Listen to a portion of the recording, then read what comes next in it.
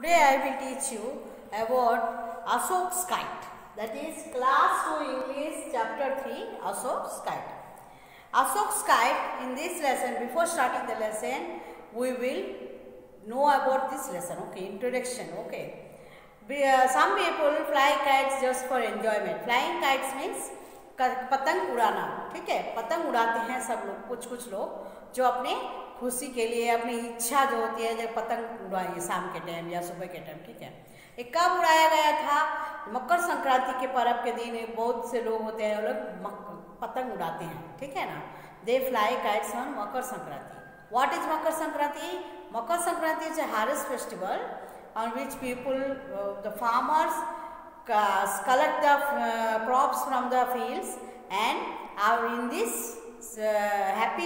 happy occasion they celebrate the makar sankranti. Okay.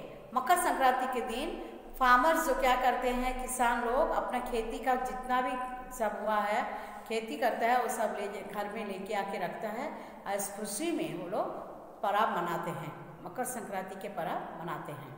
जैसे आ, कोई दही चूड़ा खाते हैं तो कहीं कुछ पोंगल बना के खाते हैं कोई मीठा बना के खाते हैं। ठीक है ना? ये हो गया मकर संक्रांति के पर्व और इस दिन बच्चे लोग जो है पतंग उड़ाना पसंद करते हैं।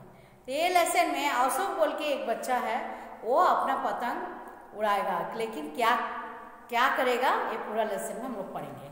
Now let's read now let's read Ashok enjoyed the art and craft class at class at school loved to draw and paint and make things out of paper.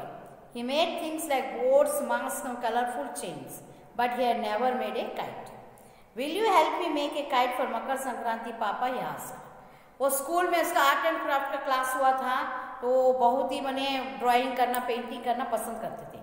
तो वो छोटा छोटा बोर्ड बनाना मास्क बनाना कलरफुल चेन बनाना, ये सब सीखा था। लेकिन उसको पतंग बनाना नहीं आता था। तो उसके पापा से बोला है, पापा मकर संक्रांति के लिए मुझे एक पतंग बना के दोगे? Of course I will let us get the materials to make it replied his father उनके पापा बोले अच्छा ठीक है, मैं बना दूँगा। पहले पतंग बनाने के लिए जो चीज़ चाहिए, कागज़ चाहिए सूता चाहिए, सब हम लोग मार्केट से खरीद के लाएँगे। At the market they went to shop where Ashok chose yellow paper to make the kite पापा को लेके अशोक मार्केट गए थे। और दुकान से वो पीला पेपर पीला कलर येलो पेपर चॉइस किया था। Then they bought two thin bamboo sticks for the frame some sticky tape to fix it on the kite and a strong string to fly it तो उनके पापा मोटा से एक सूता लिए थे जो बोलते हैं, धागा और दो बैम्बू का स्ट्रिप्स लिए उसको फ्रेम बनाने के लिए। Lastly they bought some water colours to paint a picture on the kite वो लोग कुछ वाटर कलर्स लाए, उसको पिक्चर भी पेंट करेंगे बोले that evening his father drew a diamond shape on the paper for the body of the kite and Ashok cut it very carefully पापा और अशोक ने मिलकर उसको डायमंड शेप में पतंग को काटा है। डायमंड शेप में पतंग को काटा है। और उसमें कुछ पिक्चर ड्राइंग किया है। How do you want to decorate it ask his father I would like to paint a picture of the sun why ask his father तो पापा बोले, क्या ड्राइंग करते, करना चाहते हो बेटा? तो अशोक ने बोला, मैं एक सन बनाऊँगा पतंग. ठीक है?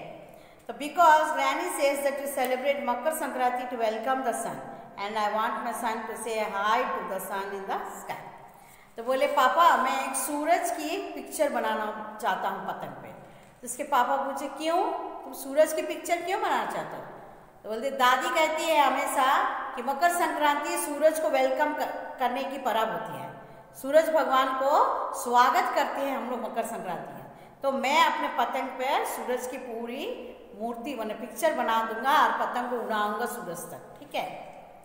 So Ashok painted an orange sun that that had a cheerful face the sun had wavy red hair that look like flames and a fine black moustache the curled up at the ends the next day Ashok help his father to attach the bamboo frame to the kite finally Ashok pasted five streamers to make the trail.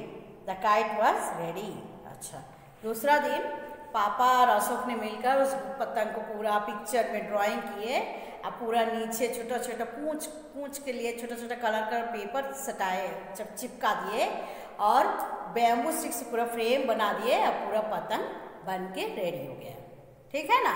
तो Ashok kite का यही कहानी था कि अशोक को kite उड़ाना है, लेकिन बनाना नहीं आता है। तो उसके पापा ने उसको पूरा हेल्प कर दिया है और वो पतंग बन के रेडी हो गया। बस इतना ही लेसन है। Okay now I will learn the meanings for you enjoy life very much material things that are needed chose pick frame thing that keeps a shape attack joy pasted stuck steamers colourful ribbons ये हो गया meaning And next part of the lesson, I will teach you in the next video. Thank you.